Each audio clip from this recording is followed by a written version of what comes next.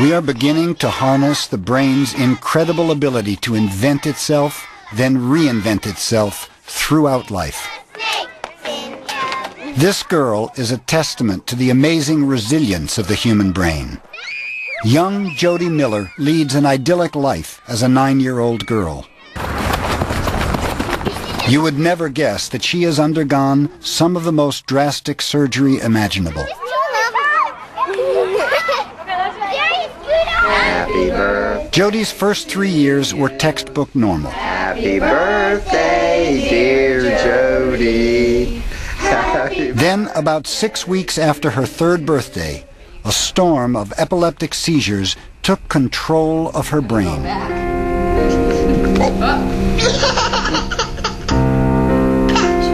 She couldn't use her left arm hardly at all. Uh, she could barely use the left leg, seizing a good good deal at the time, multiple types of seizures.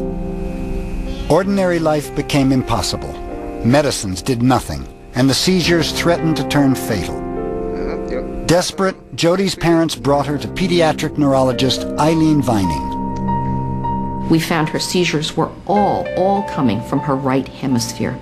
And we knew that there is virtually nothing else, nothing but Rasmussen syndrome that can produce that picture uh, in a young child. Rasmussen syndrome is a degenerative brain disorder that disrupts the electrical activity that makes our brains work.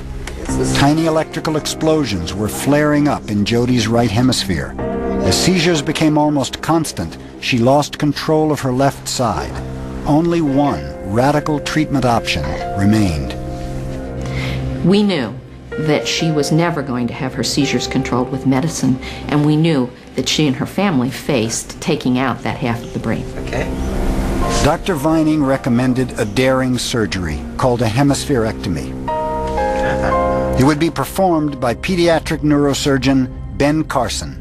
The whole concept of taking out half of a person's brain uh, would seem to, to most people impossible. Human beings are incredible creatures with a brain that is beyond belief in terms of its capabilities, to the point where we can take half of it out and still function in a normal way. 85% of our brain consists of the cerebral cortex, which is divided into two hemispheres, each with four main lobes. The cortex handles many of our higher functions. Areas on both sides control thinking, movement, and sensation. But the right side controls our left side and vice versa. Jody would lose almost all of her right hemisphere, and the cavity would fill with cerebrospinal fluid. The operation has to be performed with great precision to avoid damaging the parts of the brain that control Jody's life functions, like heartbeat and breathing.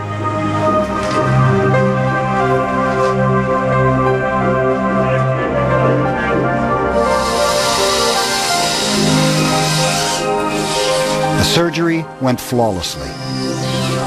What we're looking at here is an image, an MRI that was done on Jody after her surgery. And what it shows us is the fact that we removed her entire right hemisphere. And what we're able to see here is indeed her very normal left hemisphere and all the beautiful gyri of her cortex. And we can see right down the middle, the right hemisphere that was there is now replaced by fluid. But how could Jody function normally with only one hemisphere? It's because of a miraculous ability of the brain called plasticity. Our brains can actually change shape, creating new connections between neurons or brain cells to replace lost or damaged ones.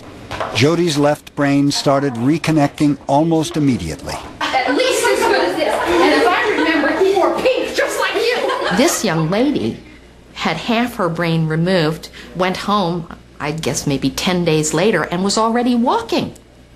She was ambulating. She was able to walk out of the hospital. And that's because her left hemisphere had such resilience, such plasticity. It was able to say, okay, something needs to move her left leg. Whoa. You gonna open it?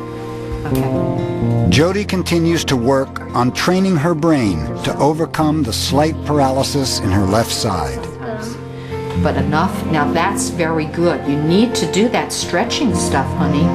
You know that, don't you? Are you doing enough of it? I think so. yeah. Need atomic sentence. The human brain is just an awesome thing because every time I look at it, I say to myself, this is the thing that makes this person unique. It still is just such a wonderful thing to find a young person whose life now can move on, who's no longer having seizures, who's developing in a normal fashion. I take the good with the bad and I say, this is a bad thing potentially that we have to do for an extremely good cause.